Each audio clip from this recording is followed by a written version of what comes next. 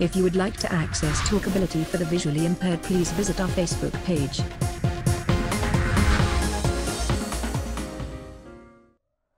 re ka thola moputso o mongata go tswa dipapading. E meng ya melemo e tswang dipapading ke mesifa e matla le pelo e phelang hantle. Ha o wele moya matshwenyeho ao a le hodimo le boitshepo bao bo lefatshe mohlomong ke nako ya gore o nke karolo ho adaptive sports. Adaptive sports di bohlokwa jwalo ka dipapadi tse ding le tse ding. Ka ntle le ho o ruta ketolopele tsebo ya bophelo tshebisano mmoho le ba bang dipapadi tsena di dumella batho ba bokowa ba nke karolo dipapading tse tlwaelehileng. Kajeno re hlahloba melemo e re e fuwang ke ho nka karolo ka mafolofolo. Bongata ba nako sena ha se bontshwe setjhabeng. Today we have a keen adventurist in studio jesse pother. Welcome to talkability jesse Thank you so much. you have always participated in some type of activity or sports before your injury what did you like then and uh, what did you do Um, I used to be active before my my accident, but not as active as I am now. Actually, okay um, I just used to go to to gym, and that's basically my me being active back then. and what, what's the difference now The difference now is I actually challenge myself to do new things and to try different things, completely different than what I've ever done in my whole life. Um, I must say, after the accident, there was no motivation. Um, family actually pushed me into doing something and being more active. and how long did that process take for you So after I got out of rehab, I think it took about six months. Well, I actually I just called my brother and asked him for a glass of water, and he came into the room and he said, um, "They taught you how to do this in rehab. You know how to get into your chair. You know how to do this yourself. So do it." So it got to a point where your family was not playing along anymore. Yes. They're like, you know, Yeah, there was you're no- either going to do it for yourself or you're not going to get it. Yeah, I don't feel sorry for you. Um, you're in this situation now, but you need to embrace it now. You need to move forward with your life and And that moment alone changed your life. Yes, I must have actually transferred into my chair and I completely missed my chair and I ended up on the floor. so I called my brother again and he came into the room and I said, Well, can you please help me into my chair? So he's like, They taught you how to do this in rehab, so do it. Um, I actually sat there on the floor crying for I think almost an hour before I decided for myself, okay, well, this is the end of it. You're either gonna die in this bed or you're gonna just accept what happened to you and move forward. Well, uh, I must say the attitude that your, that your brother adopted is one of the best because you know what? In any human nature, when there's trouble, you will end up acting. Eh? Yes, no, definitely, definitely. So um, at least I acted in a good way, and by moving forward, for me, family is it's the biggest biggest thing in life. And for you, the person that you were before your accident and the person that you became after your accident, uh, what, what, were the, what were the differences? Um, so when I was when I could still walk and all of those things, if I have to look at myself today, back then I wasn't a nice nice person at all. So actually, me me sitting in a wheelchair today has humbled me, um, because I mean I could do everything for myself, and now by me being humbled, I have to ask if I can't do something, I need to ask for help.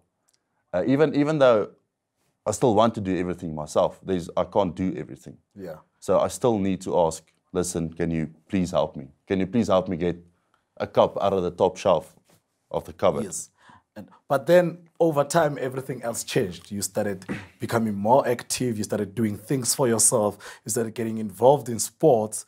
How did that all happen for you? Uh, I actually got invited to just go watch wheelchair rugby.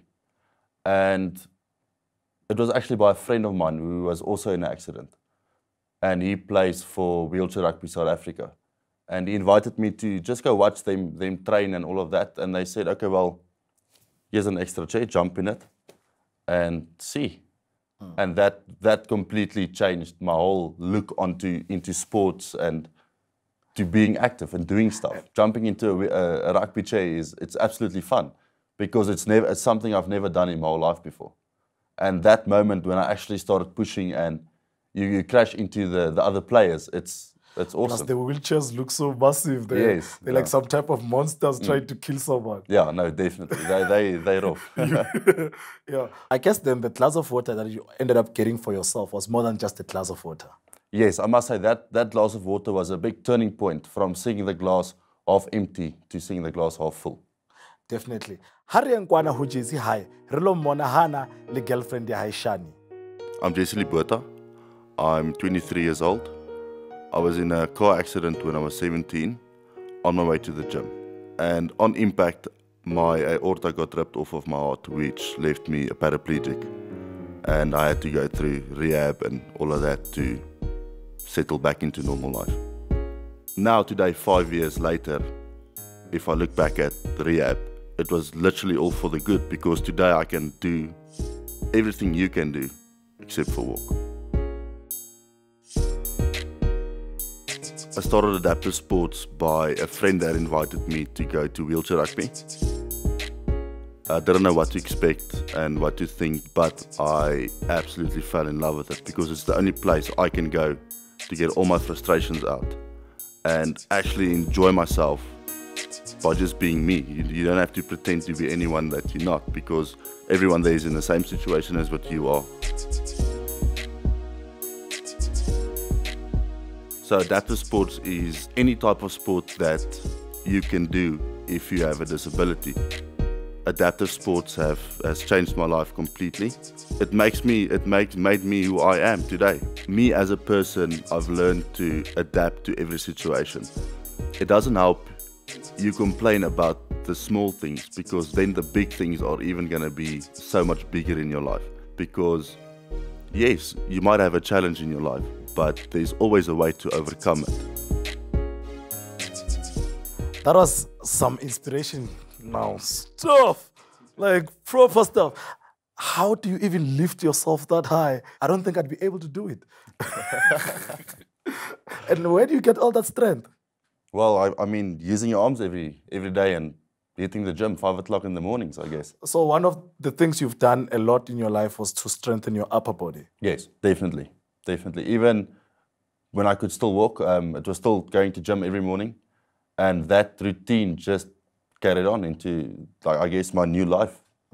And I see that you you also uh, play uh, wheelchair rugby, like you mentioned before, and you say it actually helps you uh, uh, relieve some of your frustrations. Uh, is that something you get with contact sports when you are involved in contact sports, or you also get it with the other adaptive sports you are involved in? Um, my frustrations and stuff mostly contact sports. Um, the other sports are more, like scuba diving is that calms you completely. Okay. Like getting into the water, it's you're free. Your your wheelchair is on on the surface, and you're under the water with able-bodied people, and you just one of them. You're just the same. You just dive. And this is all part of the adaptive sports program. Yes, it's, it's part of adaptive sports fund. Yes, so And, and, and, and what more do they have that you still think you would like to try out? Well, we're actually having a go kart day on the 14th, which is also adapted. So that is that, that is going to be amazing. I'll definitely be watching the space for you. Ha re kgutla, re tlo bua ho tswela pele ka JC le di sports tsa di etsang tse adaptive. Hape le mme wa hae o tla be a le mona ho tla bua le rona. A re fe tse ding tsa ditaba tse le hore moshomane ona ka nna re patela tsona.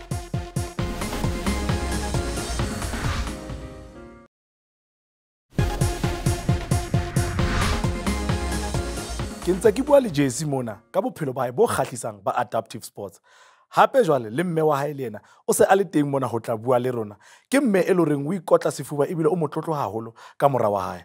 Welcome to the show louis Thank you, Raina. yes. Um, what is so interesting about your son? What is it that you appreciate so much about him? You know, I think the ability for him to just live life to its fullest without any remorse, without looking back and feeling sorry for himself, but grabbing every opportunity that's thrown his way and making a success of it. and his accident uh, brought a lot of things back to your life and put a lot of things into perspective uh, what lessons came with that for you as a mother Yo, it, the accident shook us all. It didn't ju- just change his life, but it also changed our lives drastically in a matter of a phone call. When Jesse came out of rehab, we didn't expect how our lives will change. And they don't prepare you for that either. And it was every day just taking a new step. It's like having a new baby, not knowing what to expect and just adapt to it. Just adapt to life, finding a new normal because the normal you had isn't the same anymore. And just fit into his life as well, but also make sure that he is acting as normal as any of us. How were you then able to make a turnaround yourselves to say, this is how we're going to treat this whole situation? You have to be tough. You have to you have to allow him to live by himself. You cannot help him all the time because you cannot be with him 24 hours a day. I had to go back to work. So he would there would be times where he would be by himself and helping him is not helping him. Assisting him with everything and every time he asks to, for you to do something isn't assisting him because he he learned in rehab what to do and how to approach life. And he, he must learn to do it by himself as well. So you need as a mother step back. As much as you want to help him it is to step back and say it's your turn. You need to do this by yourself because I cannot be there every day. And uh, clearly, you are a mother of tough love. Uh, even before Jesse's accident, uh, there was an incident where he, he, he stole your laptop, but you made sure he got the punishment that he deserved. yes. I actually took him to the police station and had him arrested for theft. And um, they cuffed him and they locked him up. Luckily, he was still of a young age, so they couldn't keep him. They had to release him into my custody, but we had to, we took him the full, the full extent of the law. The next day, I went to withdraw the case without him knowing it, but we still went to court, yes. and um, we put him through that entire phase because he had to learn his lesson. At that moment, I didn't think that my mom actually did it because she loved me, because I thought she hated me. Actually, that, that's the truth. And today, if I look back at it, um, that is absolutely the best thing my mom has, my mom could ever do for me. Was that day when she told me get into the car, we're going to the police station. That was the. the oh, you actually thing. took yourself in. yeah, my mom actually took me in there, and um, they said, uh, "Okay, well, come." They need to make decisions for themselves and also that there's consequences for their actions, that they cannot, there isn't always somebody that can bail them out when they're in trouble. Sometimes they have to face the music themselves. And you know, Louise, um, uh, mothers are the most worrisome people in the world. And here's Jesse now scuba diving, uh, doing all these adventurous things that are so scary now. Uh, apart from being proud of him, how, how much do you worry about him though? Getting involved in all of these activities? Um, I think the scuba diving's the worst because although he's very confident and he loves it to bits, um, anything can, can happen. To me, it's to me it's the most dangerous part of all the sports he's done so far. I know they've got buddies. I know they're very cautious in everything, very safety conscious, but still, that is one of the, the parts that that worries me. I mean, it can be a shock. Do you ever want to discourage, sometimes feel like discouraging some of these ideas? I sometimes do, but I keep it to myself. motho o mongwe e le goreng le ena o rata adventure haholo ke shavani le ena o le a kenelela ntho tsena tsa adaptive sport e le quadriplegic I've always been an active uh, person playing sports. Um, I used to play sports from soccer, cross country, swimming, tennis, um, volleyball, you name it. Libitsoke Chabani Minga. Um, I was, I'm a quadriplegic. I was involved in a car accident in June 2003, my first year of varsity.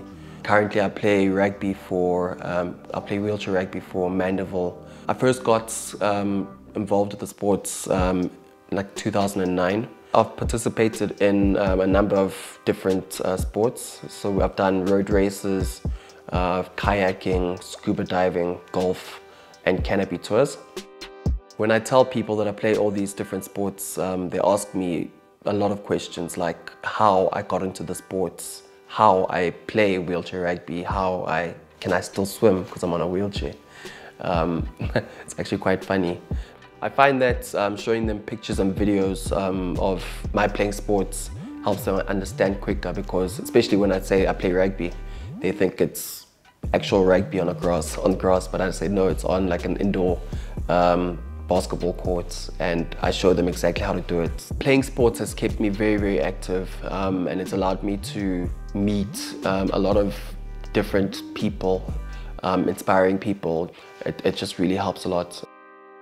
Uh, I see here on the insert, uh, Chabani actually uh, plays wheelchair rugby as well, but he's a quadriplegic. Are there different classes for this uh, sport or what's happening there? Please explain. Uh, yes, it's actually called quad rugby. So if you, you have to have three or more limbs that are affected by your disability. So at the moment, I do not qualify to play national wheelchair rugby, but I still go there and I play friendlies and I enjoy training with them and being a part of it because it's a big part of me. Have you well. looked into uh, sports, types of sports which you could play professionally within the adaptive sports uh, arena? I have looked at it, but all of them have too little contact for my liking. Sure. And maybe then you should just start. Uh, uh, you, yours, you paraplegic. You must start a para sports uh, where you have a para rugby thing and then get it registered, and then other paras would join. Eh? Yeah, I think that that would actually be a great idea to try something like that. There's a huge social aspect of actually participating in, in these events or engaging in with the other uh, quadriplegics or paraplegics playing the different types of sports. Um, yes, I mean, you you meet new people and people. I mean, people actually accept you for who you are. They don't look down on you or you different. They they don't they don't see your disability. They see a person. And it, it shows that adaptive sport is growing in South Africa. Right now, it's, it's, it's actually very small, but it's growing mm. because they're starting to have more events, more people are starting to know about it. It's really doing a lot. Ha re kgutla papatsong, re tlo bua le Jeff Yates. Ke yena he a tlo re jwetsang hore adaptive sports e sebetsa jwang.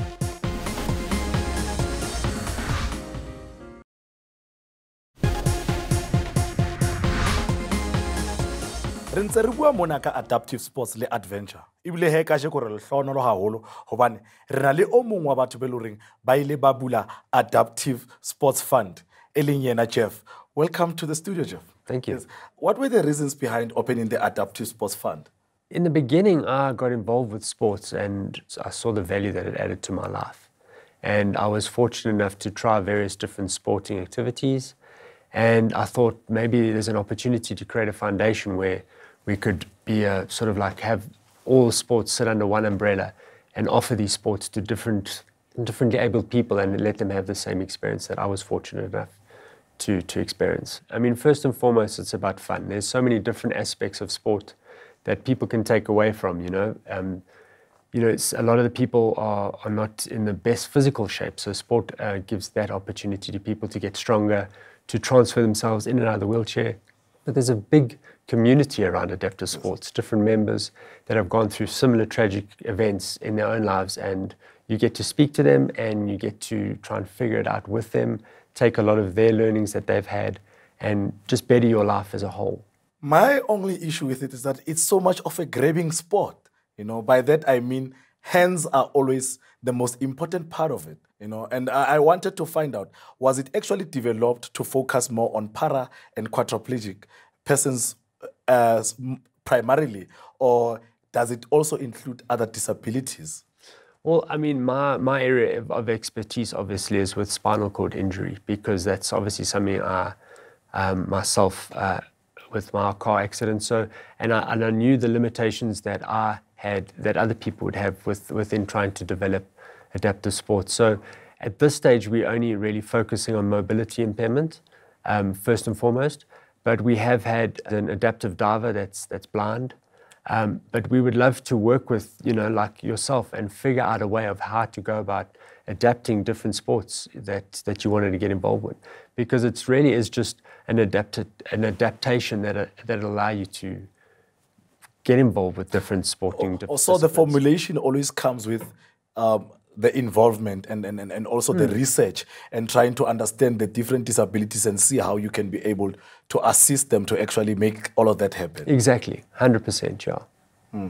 I guess I'll give you a call soon.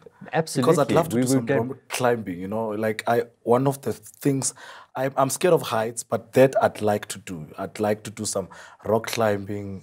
Well, that's the thing, and there, there, is always a way around. Um, there, we- we'll find a way as well, and uh, I think that's what's important about the organisation. You know, if someone wants to do horse riding or any sort of adapted sports that they previously did, they must reach out to us and, and get in contact with us. And we, we've got a, a large network of people that are willing to help and find ways of, of doing things. I think we need more publicity around um, adaptive sports. I don't think it's out there. I love bragging, always taking videos when Jesse's busy with some because it's it's just so amazing to see what they are able to do. Being called disabled, which to me is a total farce, because they're able to do more things than what I can do, and people need to the, the, the need to know about this. People need to see what can be done by the so-called people with a disability. I don't see a lot of female participants. What, what do you think is causing that, where females just are not coming forward?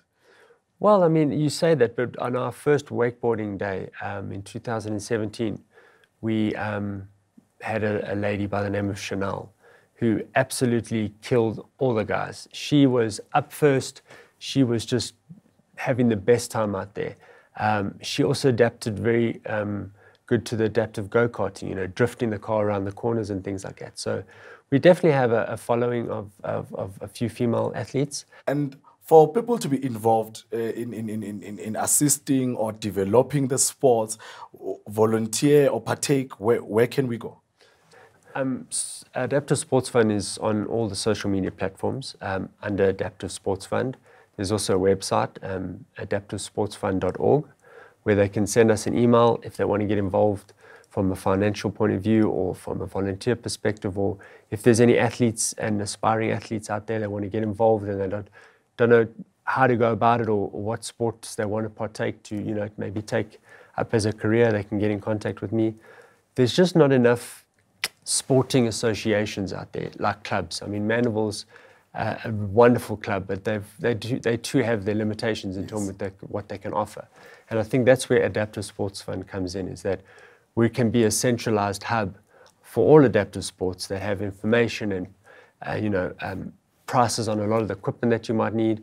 Um, through our, our events or our demo days, um, we can get the guys to come experience various sports before they go spend all that costly money or, or before they go and find the sponsorships to try and get them involved with a particular sport. Am I right? Well, normally with like demo days, we actually do not pay for it. Um, the ASF sponsors everyone that participates in it.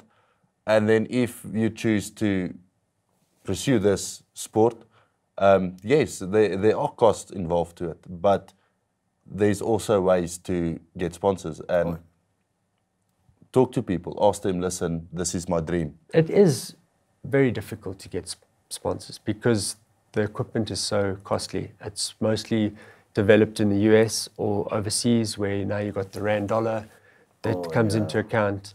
But there are ways around that, and like like we've developed four snow skis in AfriSki, which we um, built, and we managed to build them under fifteen thousand rand a ski. Where if you go and buy them overseas, they can be in excess of, of eighty thousand rand. The motto says, uh, no limits, just life. Um, you were just trying to say to everyone, come, let's live. Yeah, let's just have fun. I must say, guys, I've enjoyed the conversation. I think for myself as well, I've learned a lot. And Jeff, you've opened my eyes to certain things, and now you've made me believe that the rock climbing idea might just work sometime in the future. Thank you very much for coming to the show. Eh, lona batho beso re ntse re tlo tswela pele lona kwana ho social media taba tsena tsa paka hore ha ona ntho e ka o thibellang bophelong ba hao ka le kelello ya hao e hlile kajeko lena le ya bontsha gore ntho e nngwe le nngwe e ka etsagala lebitso ke reina moloi and we talk ability